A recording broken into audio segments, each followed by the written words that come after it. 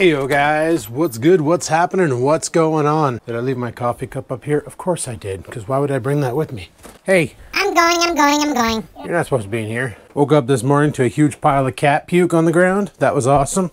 Looks like Oreo already took care of it. I'm kidding, I cleaned it up first. He probably just got to lick the wet carpet. He loves licking wet carpet. Anyway guys, I got up at 6.30 today. It's currently 7.30 and that means I get to have a coffee. This is part of my coffee detox. No more waking up first thing in the morning, taking a piss and then getting the coffee going. Now it's wake up in the morning, take a piss, let puppy out to take a piss, and then go sit upstairs and watch YouTube or my morning steps, which I didn't do today.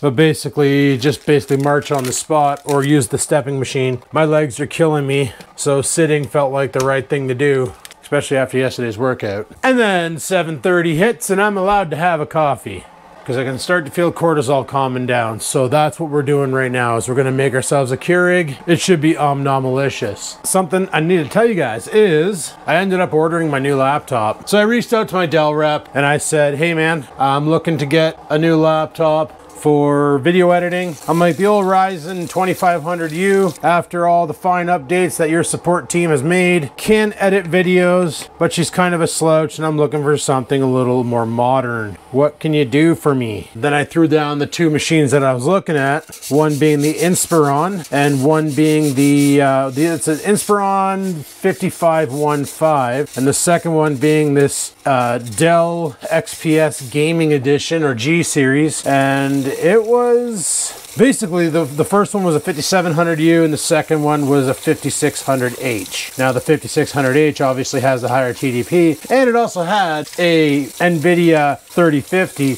where the 5700U just had the, um, the built-in Radeon graphics, which I've seen on the 2500U is more than enough to get the job done now that Vegas has been updated to be, you know, not garbage and supports a lot of other processors. Personally, something a little sidetrack is I'm almost tempted to see if somebody I know has an Intel based one with that Iris card, because that's the competitor to Intel's or to AMD's APU technology, I'm almost tempted to see how well that thing can handle video editing, but I wasn't about to bite the bullet because I already know AMD APU works, so get what works and work with it.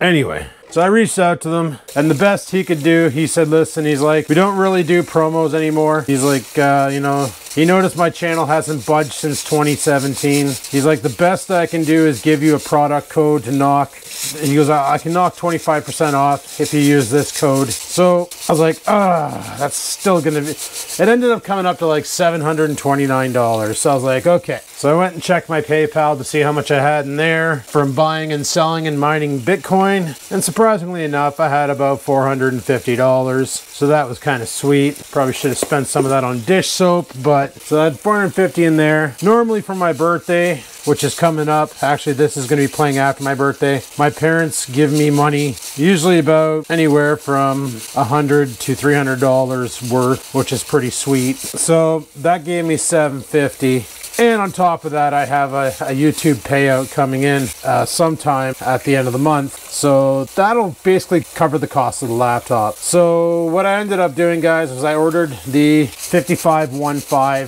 which is the AMD 5700 8 core, 16 thread APU uh, clock. I'm not even sure what it's clocked at. I don't even know, but it came with 16 gigs of RAM and a one terabyte hard drive, and it should be pretty good. It's got Windows 11, but to be fair, Windows 11 is just a reskinned Windows 10. It might have some better functionality, but all in all, it's the same shit, different pile. Like dad's new laptop that we went and picked up at Best Buy. Well, it has Windows 11 on it. And going through it, it was a bit different. Like you don't reach over to the bottom uh, left anymore for the start button. Damn thing is dead center, just staring you in the face. But other than that, it's pretty much the same functionality. Like the start menu is kind of lame. I found myself reaching for the keyboard a lot and typing in things that I wanted to find because the start menu was just not very intuitive. So I don't know what kind of strap Microsoft was going for there, but obviously a failed one. So I decided to order up the new laptop. I'm like, you know what? I'm going to be doing a lot more mobile editing. It'd be nice to have something I can take with me and get the job done just as efficiently as I could at home on my normal rig. Now,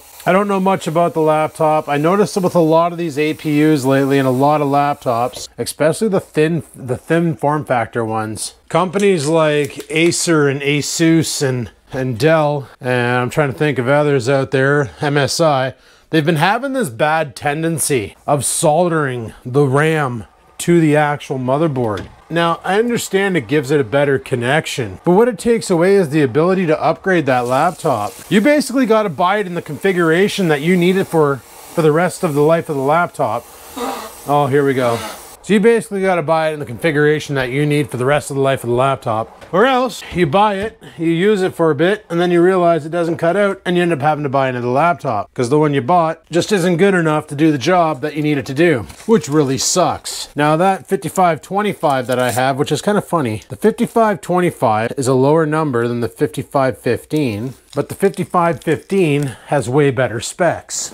What's up with that, Bill Nye, the science guy? Like, who's labeling these computers? Obviously somebody who failed at math and numbers. So anyway, mind you, the other computer was nice, but after all said and done, even with 25% taken off, the thing was gonna set me back $13.99. Well, 13 and change. So I would have ended up paying a lot of money for, well, obviously a way better machine, but with, an, with a dedicated graphics card, a 45 watt TDP processor, which would have been balling. But honestly, I figured if my 4 core 8 thread 2500U with Vega 8 graphics, non RX, can do it, not efficiently, mind you, it's a 2 to 1 ratio. I figure you add four more cores and eight more threads to that equation with an RX enabled video card, which I don't even know what the heck that does, but let's just pretend it's efficient. Um, I watched some videos of people playing games on it just to get an idea. I know my laptop can play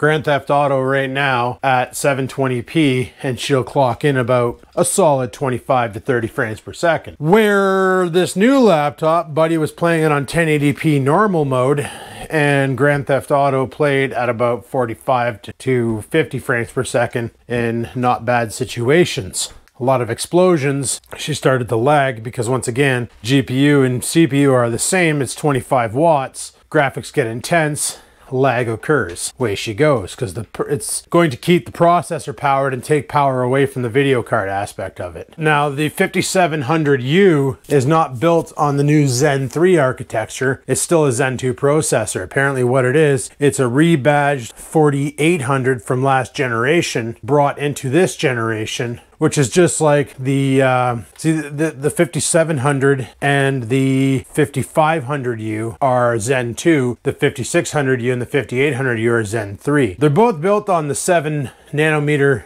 uh, scale, the, the new architecture. It's just the Zen 3 has some better memory handling and some other nonsense too. And it has the updated graphics card, the RX, instead of the old Radeon non-RX. Once again, no clue what the difference is, don't really care. I just know that the video card itself is 1400 megahertz and it has eight cores equivalent to like 384 shaders or some shit. I don't know, whatever, doesn't matter. So I'm not gonna be using it for gaming. That's not the plan. Literally, it's gonna be a mobile editing rig and it came up to, I think I said 729. I think it was around that price after the 25% discount code from Dell and I don't have to make videos on it. That's one thing they told me. Like, hey, I'm just going to give you this code because you've been a loyal customer and you bought a lot of machines from us. And because I bought the desktops and I bought two laptops from them before, a Dell Inspiron uh, 6400 and a Dell Inspiron 1520. Then they sent me the 7520 as a review item, and then they sent me the uh, the frig 55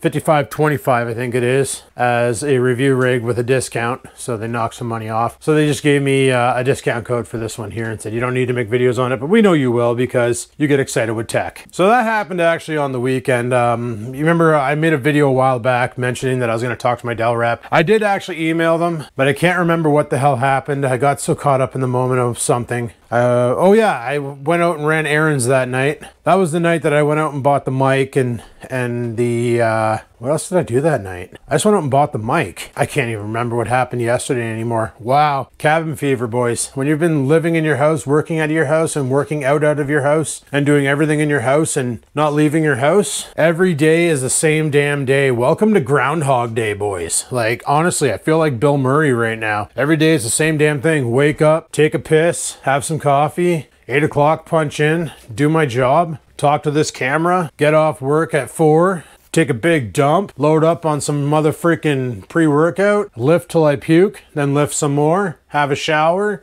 talk to this camera, go to bed. Like every day, same damn thing nonstop.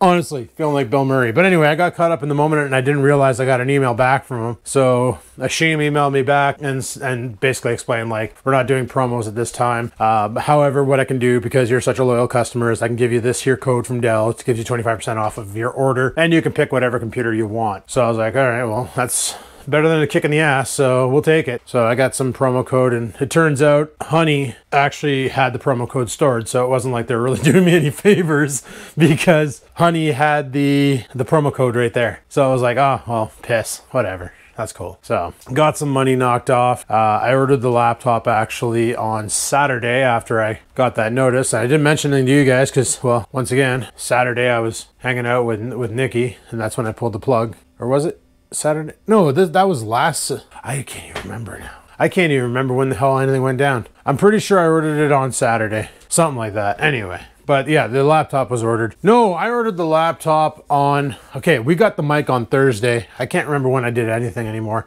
This is horrible. It was the day that I got the mic the following day. So I decided to pull the trigger on it. It was Thursday because I think Wednesday's when I got the mic. I can't remember now. I don't, I don't know what the hell's going on with my life. But anyway, so I ordered it up. They said it was shipped out on Saturday. I didn't realize courier services were on Saturday. And it should be here any day. Now it is coming by Purolator and Purolator has this awesome tendency to uh, deliver you a sticker rather than the computer because they don't want to carry it on the truck because they don't want to lift anything because they hire the uh, non-lifting version of anybody to run their trucks. So heaven forbid. And I remember the one day, actually the XPS uh, 9000, when I ordered that computer, Purolator showed up and Buddy like walked to the door with a sticker didn't even have the computer in his hands. And i i greeted him at the door. I opened the door and i was like hey bro what's up? And he's like oh you gotta go you're gonna have to pick up your computer tomorrow at Purolator i said is it in the truck? And he's like uh yeah. And i'm like then why isn't it not in your hands? No it's really heavy. I didn't feel like carrying it. I'm like well frig sakes so i basically went outside and i pulled it out of his truck and i carried it back to the house because dum dum was too freaking lazy to do his damn job you know like his courier job Maybe he should quit that job and take up a profession in bagging groceries. I don't know, but they seem to like to not deliver packages and make you go out of your way to pick up a package that you've already paid a lot for and even paid a shipping cost to have it delivered to your house.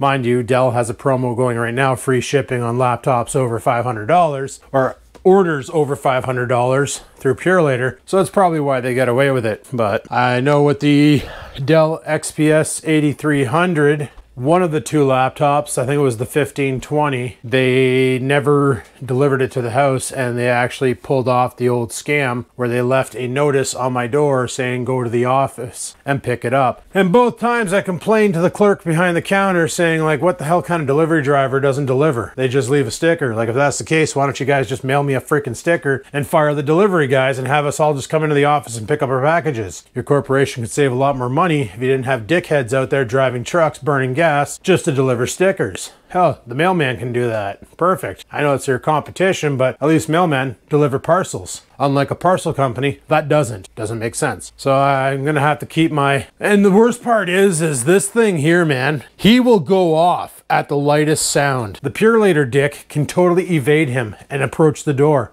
without setting off my dog. I don't get it. I have no idea how the hell this is remotely possible, but he does it all the time and it kind of pisses me off. So like I said, that laptop should be here. Also guys, I've been doing some research on my gaming PC and its its technicalities. And by by technicalities, I mean, like I'll be playing Red Dead Redemption and she stutters, she stutters, she stutters. Now I have already, oh, I almost threw up. I have RDR installed on an SSD on the, on the drive. So it's a fast access drive. So that was my first thing was, okay, is it running slow because Red Dead Redemption's sitting on the platter drive or is it on the SSD? I have it on the one terabyte SSD. It's not the problem. It should be fast enough. Mind you, it is an SSD and not an NVMe, so we don't have that PCI bus governing the speeds. It's literally just a SATA cable going into a regular hard drive port to a really fast disk, but it is still way the hell faster than using a platter drive where you got to wait for the damn thing to spin up so the head can move and get your data. So we got that going for us, but obviously not going for us fast enough. But is that's not the problem. The actual problem, that was that? See, I'm starting to hear noises and I'm wondering because they said it could be delivered today. So if it is, then next video is probably gonna be, this is my new computer. Bitches don't like it, skanks. I found a program that a lot of people use for reviewing tech or mainly for doing gaming videos on platforms like when I was watching the videos of the 5700U versus, so I looked at that versus the Intel, which the only thing I could find remotely close to it was the uh, i7, but the price was ridiculous compared to the uh, to, uh, compared to the 5700U. So I decided to go with the i5 series to see if the i5 and a laptop that was the same comparable price as this one here from AMD. And I watched the Versus video and all you can find is video games and Cinebench shit. So I watched them both and the APU basically took it home. The software they were using actually showed vital information such as RAM usage, video RAM usage, hard disk usage. Like it basically showed the whole telemetry of the game in motion explaining where your bottlenecks are. And it turns out where my bottleneck is is actually the video card, which it's 1070. Like it's not modern or anything, but it's also not a pile of piss. Like she she can still she should still be able to give her. So one of the suggestions I had to basically up the frames is to lower the resolution. Now I'm playing at 18 or uh, 1920 by 1080, so 1080p. One of the solutions I remember on the old XPS 8300, and the reason why the graphics looked so good on it but it basically got good frames even with a 5500 uh, GX or GT or whatever the hell that card was, is because I was running, what time is it? It's 7.51, I gotta get up there and work. But I was running that computer at 1600 by 900, so it wasn't a true 1080p because both my monitors were only 16 by 9, 1600 by 900, not true 1080p. So I lost a bit of resolution, but in the end, it, it meant the card didn't have to drive hard to get the job done. So what I'm thinking is we can take a little bit of weight off the video card's back, drop her down to 1600 by 900, and RDR should be smooth as glass again. I haven't really tried it yet because I haven't really had a chance, but I turned on the software, puts on an overlay on the screen, ran the RDR demo, and went, hmm, interesting.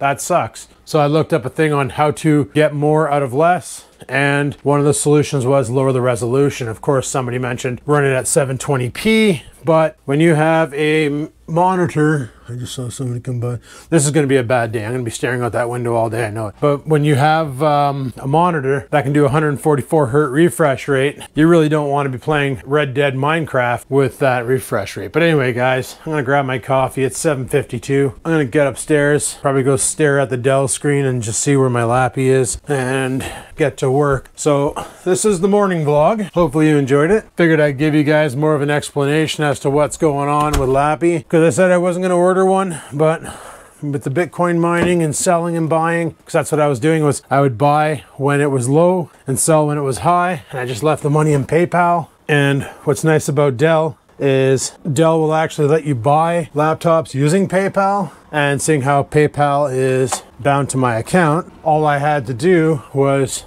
oh, what the hell's going on here? All I had to do was wait or leave the money in my account, order the laptop, pay with PayPal. It took the old balance out and along with some of the money from my account and we were good to go. Sorry, I'm just getting ready for work here. Don't know what that's all about, so cool. All right, we're all logged in, we're ready to rock and there's a whole shitload of people in, in the queue. Lovely. It's going to be a beauty day in the bay. Anyway, guys, on that note, thanks for watching. Hopefully you enjoyed today's video. So that's what I was doing with the Bitcoins as I was mining. When they dropped drastically, I sold them or sorry, when they dropped drastically, I bought into it. And when they rose back up, I sold them. The moment I saw them starting to dip, I sell out and leave it in the PayPal account. And then every once in a while, if I had any extra money, I'd throw in the PayPal.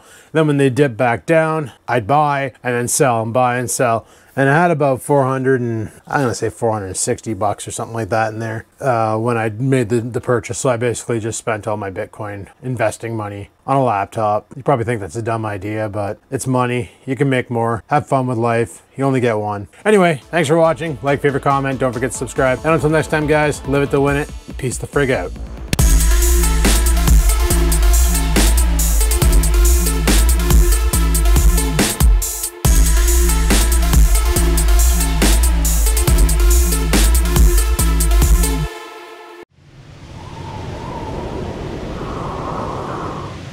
Sit, stupid, sit. Good dog.